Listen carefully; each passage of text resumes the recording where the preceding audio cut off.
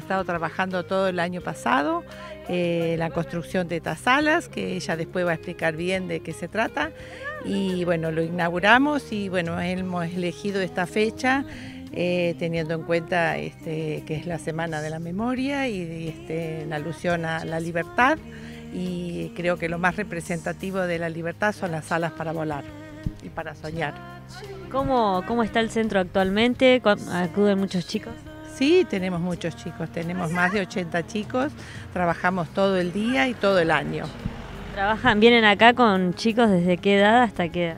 Vienen chicos desde los 3 años, en este momento tenemos chicos hasta de más de 30 años, o sea que es bastante amplio. Y bueno, todos tienen este, discapacidad intelectual y reciben todas las atenciones este, que necesitan. Eh, profesionales y terapéuticas, educativas em, y también recreativas. Hacemos paseos y hacemos también este tipo de actividades este, artísticas y, salida a la comunidad, que es lo que más nos interesa. Me enteré de este proyecto, que como dijeron es a nivel nacional. Eh, este proyecto nace en Ramos Mejía, de la mano de Paulina Ruco, que es una artista plástica, y mm, tiene muchas cuestiones especiales este proyecto que ahora te voy a contar. Yo me entero por las redes sociales de este proyecto y convoco a sumarme a este proyecto y traigo la propuesta solar que bueno, eh, fue una alegría que nos incursionamos en este vuelo, nos sumamos al vuelo. Em, bueno, este proyecto consiste en hacer un par de alas, eh, está dentro de un proyecto que se llama Para Ir Mural, que en Facebook lo encuentran como para ir mural, donde se pueden seguir todo el proyecto, desde las primeras salas más todas las que se van a seguir concretando.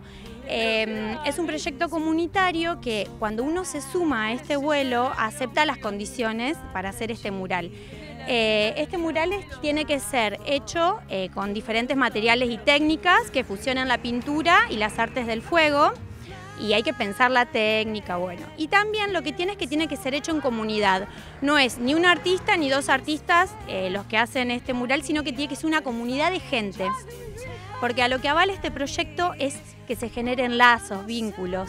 Eh, es el momento compartido, es el crear colectivo, el todos, todos ponemos un poquito de nosotros para hacer algo mayor, algo más grande y que eso más grande después seguir compartiéndolo con la comunidad. Y lo tercero que tiene este proyecto es que estas salas además no están completas sino con un espectador.